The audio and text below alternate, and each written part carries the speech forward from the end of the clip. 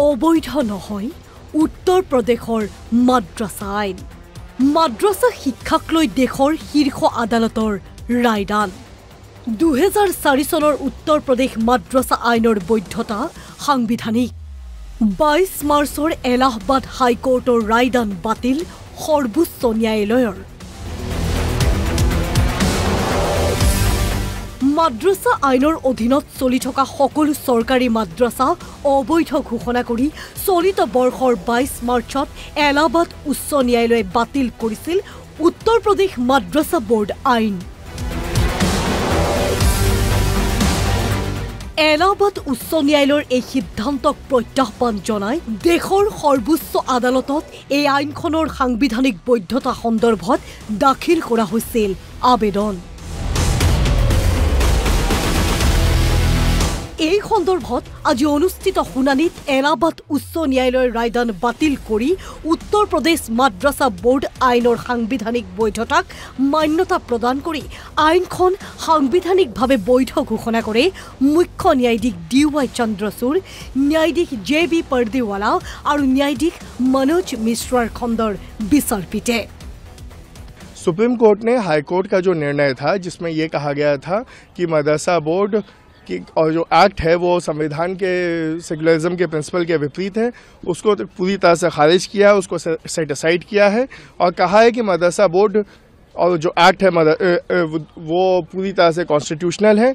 जहाँ तक कि कामिल और फाजिल डिग्री का सवाल है जो कि हायर डिग्री होती है ग्रेजुएशन लेवल की उस पर उन्होंने कहा है कि ये मदरसा बोर्ड कन्फर्म नहीं कर पाएगा लेकिन मुंशी मौलवी और आलिम की डिग्री जो दसवीं बारहवीं के बराबर होती है उसकी पूरी वैलिडिटी रहेगी উত্তৰ প্ৰদেশত আছে প্ৰায় ষোল্ল হাজাৰ চৰকাৰী মাদ্ৰাছা ন্যায়ালয়ৰ ৰায়দানৰ দ্বাৰা উপকৃত হ'ব প্ৰায় সোতৰ লাখ শিক্ষাৰ্থী মাদ্ৰাছাই প্ৰদান কৰিব পাৰিব দশম দ্বাদশ শ্ৰেণীলৈ শিক্ষা স্নাতক স্নাতকোত্তৰ পৰ্যায়ৰ ডিগ্ৰী প্ৰদান কৰিব নোৱাৰিব মাদ্ৰাছাই প্ৰদেশৰ ষোল্ল হাজাৰ চৰকাৰী মাদ্ৰাছাৰ প্ৰায় সোতৰ লাখ শিক্ষাৰ্থীৰ ভৱিষ্যত এই ৰায়দানৰ দ্বাৰা সুনিশ্চিত কৰিলে সৰ্বোচ্চ ন্যায়ালয়ে।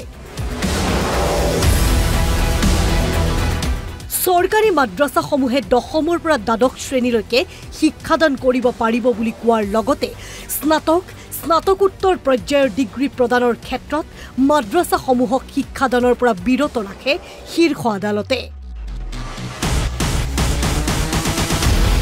এই ৰায়দানৰ পাছতেই অসমৰ মাদ্ৰাছাক লৈ উচ্চতম ন্যায়ালয়ত বিচাৰাধীন বিষয়টোৰ সন্দৰ্ভতো শীঘ্ৰেই ভাল খবৰ আহিব বুলি আশাবাদী জনিয়া সমষ্টিৰ A I U D F বিধায়ক ডক্টৰ হাফিজ ৰফিকুল ইছলাম।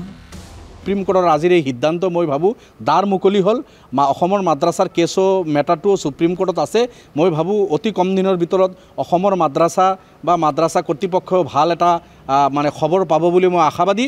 আৰু উত্তৰ প্ৰদেশৰ এই সিদ্ধান্ত যিটো হ'ল ষোল্ল হাজাৰ মাদ্ৰাছা প্ৰায় সোতৰ লাখ ষ্টুডেণ্ট এই মাদ্ৰাছাবিলাকত পঢ়ে বুলি আমি জানিব পাৰিছোঁ আৰু তাতে পঢ়া ছাত্ৰ ছাত্ৰী যিটো এলাহাবাদ হাইকোৰ্টে আনকনষ্টিটিউচনেল বুলি কৈছিলে এক্টটো বাতিল কৰি এই মাদ্ৰাছাৰ ছাত্ৰখিনি স্কুলত এডমিশ্যন দিব দিছিল।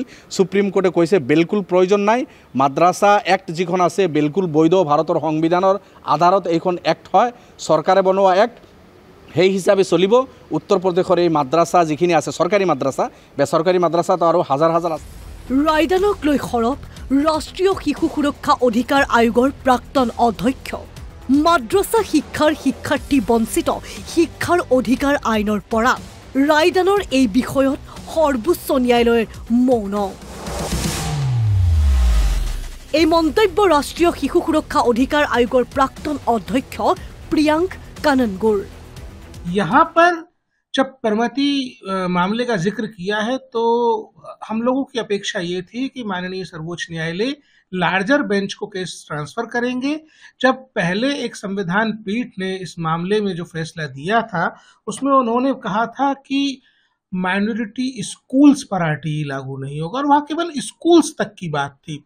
हाउ ये जो फैसला है, ये मदरसे पे है, मदरसा आरटी से एग्जम्प्टेड है, लेकिन मदरसों में पढ़ने वाले बच्चों के संवैधानिक अधिकार पर सर्वोच्च न्यायालय अभी तक जो फैसले की जो प्राइमरी रीडिंग हमने की है, उस पर वो मौन रह गया है। ये बड़ा डिसहार्टनिंग है कि आप माइनॉरिटीज के, मुसलमानों के मदरसा चलाने के अधिकार को सुरक्षित करने के लिए तो बहुत लंबा फैसला दिए हैं। पर बच्चों के शिक्षा का अधिकार पाने के मामले में ये जो मौन है ये सालता है ये तकलीफ देता है উচ্চতম ন্যায়ালয়ৰ ৰায়দানৰ পাছতেই যোগী আদিত্যনাথ নেতৃত্বাধীন বিজেপি চৰকাৰক ক্ষুৰ্ধাৰ সমালোচনা উত্তৰ প্ৰদেশৰ প্ৰাক্তন মুখ্যমন্ত্ৰী সমাজবাদী পাৰ্টীৰ অধ্যক্ষ তথা সাংসদ অখিলেশ যাদৱৰ देखिए ये फटकार कोई नई नहीं है अभी तक के कार्यकाल जो देखेंगे आप सबसे ज़्यादा हाई कोर्ट सुप्रीम कोर्ट की फटकार अगर किसी को मिली है तो उत्तर प्रदेश सरकार को मिली है। समय समय पर उत्तर प्रदेश सरकार ने अनकॉन्स्टिट्यूशनल काम किए हैं और उसका परिणाम यह है कि हाई कोर्ट और सुप्रीम कोर्ट हस्तक्षेप करता है। और हमें पूरा भरोसा है कि जितने भी अनकॉन्स्टिट्यूशनल फैसले लिए हैं सरकार ने वो सब टर्न डाउन होने चाहिए।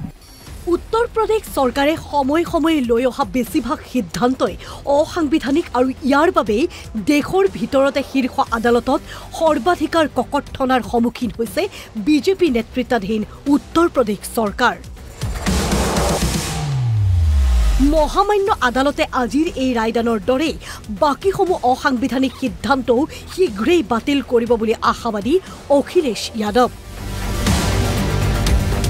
National Desk, NB News.